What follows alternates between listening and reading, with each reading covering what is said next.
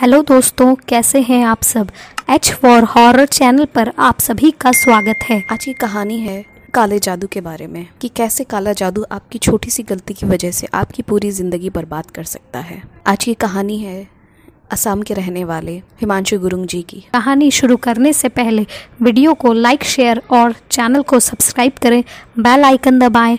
तो चलिए कहानी शुरू करते हैं। मेरा नाम हिमांशु गुरुंग है मैं असम का रहने वाला हूँ। आपने असम के मेयोंग गाँव का नाम सुना होगा। ये गाँव अपने काले जादू के लिए पूरे भारतवर्ष में प्रसिद्ध है। मेरे पापा आर्मी ऑफिसर थे और इसी वजह से वे अलग अलग स्टेट में ट्रांसफ़र होता रहता था और हम भी उनके साथ ही जाते थे। जब मैं सातवीं कक्षा में पढ़ता था, तभी मेरे पिताजी का ट्रांसफ़र असम में हुआ, जो कि मेरा गाँव भी था। हम असम के मोरी गाँव डिस्ट्रिक्ट में रहने लगे, जिससे थोड़ी दूर पर ही हमारा गाँव मेयोंग था, जो कि पूरे देश में काले जादू के लिए जाना जाता है। वहाँ मेरे दादा दादी रहते थे। मैं कभी कभी उनके पास ही रुक जाया करता था। पापा का ऑफ़िस दूर होने की वजह से हम वहाँ हमेशा के लिए नहीं रह सकते थे। पर जब भी मुझे वक्त मिलता तो मैं दादा दादी से मिलने उनके घर चला जाता। मैं जब भी दादा दादी के पास जाता तो देखता, लोगों की बहुत भीड़ हमारे घर के आसपास होती थी। मेरी दादी ने मुझे बताया कि मेरे दादाजी काले जादू के बारे में बहुत कुछ जानते हैं। वे एक तांत्रिक की तरह थे। दादाजी अपनी पावर से लोगों के घरों में खोई हुई कीमती चीज़ें उनके खोए हुए परिवार के सदस्य और अनेक प्रकारों से लोगों की मदद किया करते थे। मेरे दादाजी को बुरे इंसान नहीं थे। बहुत लोग उनके पास अपनी गलत इच्छाओं के लिए भी आते थे, पर उस गाँव में कोई भी ऐसी चीज़ों के लिए अपने काले जादू का इस्तेमाल नहीं करता था। कुछ करने से पहले बहुत बार बोलते थे कि अगर तुम किसी की मदद के लिए करना चाहते हो तो तो ठीक है, पर सिर्फ़ अपने स्वार्थ के लिए और अपनी गलत इच्छाओं की पूर्ति के लिए मेरे पास नहीं आना। यदि तुमने ऐसा किया तो तुम्हें इसका भारी परिणाम भुगतना पड़ेगा। ऐसा कहने से वो लोग ऐसा कुछ करने से पहले कम से कम सौ बार सोचते थे। एक दिन की बात है, मैं स्कूल के बाद दादा दादी के घर चला गया। मैं बाहर आँगन में एक लड़के के साथ खेल रहा था, कि तभी मैंने देखा कि एक औरत और आदमी रोते रोते बड़ी तेज़ी से दादाजी के घर में घुसे। पता चला कि वो किसी बच्चे के माँ बाप थे और उनका बच्चा खो गया था। मैं दूर से ही उनकी बातें सुन रहा था।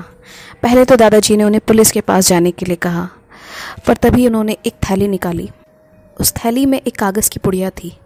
उस पुड़िया में एक काली गुड़िया बंधी हुई थी। उस काली गुड़िया में किसी बच्चे के बाल और उस बच्चे के नाखून चिपके हुए थे।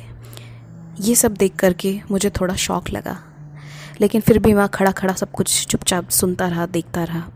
दादाजी ने उन्हें उस रात बारह बजे वहाँ आने को कहा और वो लोग वहाँ से चले गए। पर दादाजी ने मुझे वहाँ खड़ा देख लिया था। उन्होंने मुझे वहाँ से जाने के लिए कहा और कहा कि चुपचाप यहाँ से अपने घर चले जाओ और आज रात यहाँ नहीं आना। लेकिन मैं देखना चाहता था कि उस रात वहाँ क्या होने वाला था। मैं घर पहुँचा और अपने रोज़ के कामों में लग गया और माँ से कहा कि आज आज स्टडीज़ के लिए दोस्त के घर जाना है। आज रात मैं वहीं रुकूँगा और कल सुबह ही आ पाऊँगा।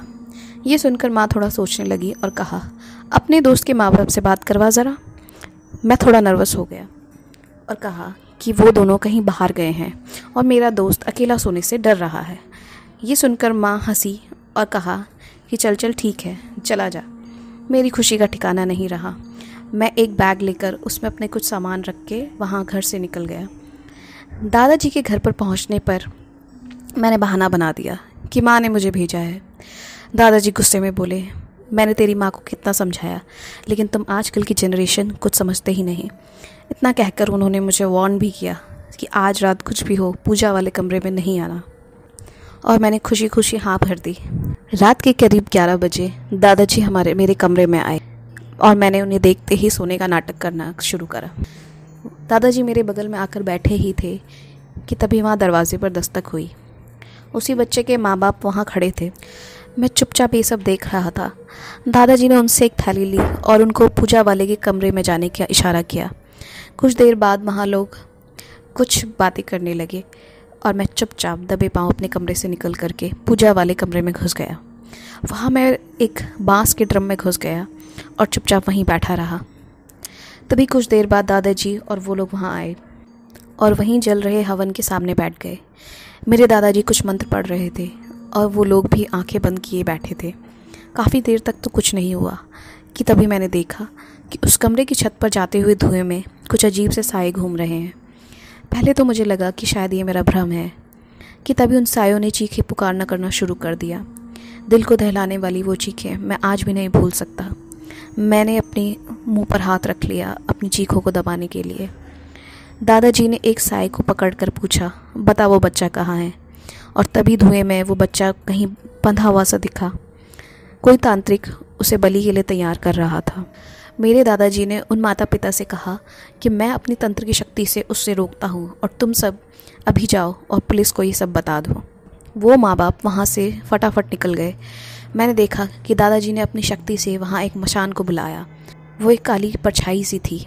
उसके बाल घुंघराले और लंबे थे। और आँखों की जगह कुछ आग सी जल रही थी, बिल्कुल लाल, कोयले की तरह। और वो कुछ कह नहीं रहा था, बस कुछ जानवरों की तरह घुर्रा रहा था। दादाजी उससे कुछ कहने लगे, जो मुझे सुनाई नहीं दिया, और सिर्फ़ उसकी गुर्राहटें ही मैं सुनता रहा। और तभी मैंने देखा कि वह अपनी लाल लाल आँखों से मेरी ही तरफ़ देख रहा था, और कुछ अजीब सी मुस्कुराहट थी उसके चेहरे पर। ये सब देखते ही मैं वहीं बेहोश हो गया। अगले दिन सुबह करीब चार बजे मेरी नींद खुली। मैं वहीं उस ड्रम में था। मैं भागकर अपने कमरे में सो गया और अपने चेहरे तक चादर ओढ़ ली।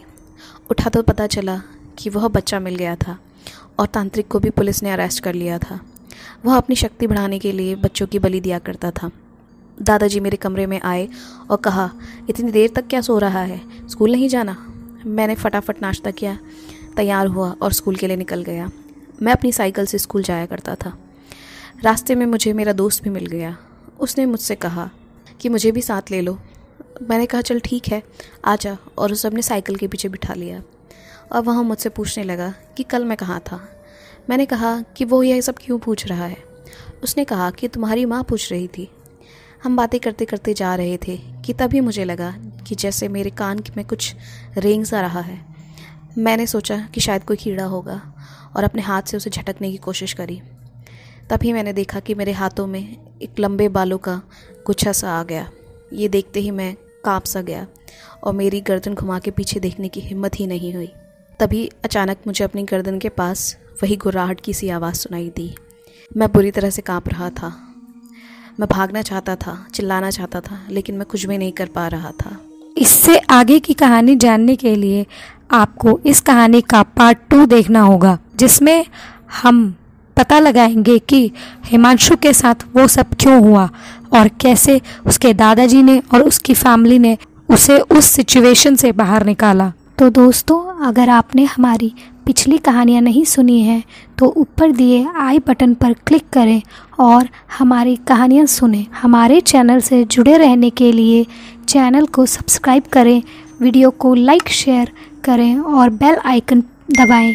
जिससे कि नई कहानी की नोटिफिकेशन आपके पास सबसे पहले पहुँचे। Okay bye